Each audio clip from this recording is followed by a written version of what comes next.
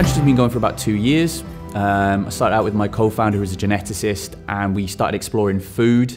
Um, we found it was really hard to monetize, so we flipped over into health and we discovered that businesses had a real interest in making their employees uh, happier and healthier. Um, and so over the last two years, what we've really done is developed uh, a health and wellness program optimizing tool, um, which includes health testing, so analytics for workforces to understand their health, and then a tailored comms platform that allows you to talk to people at an individual level, but fully automated. So for anyone running large businesses, we can plug straight in and start to make the health and wellness spend better.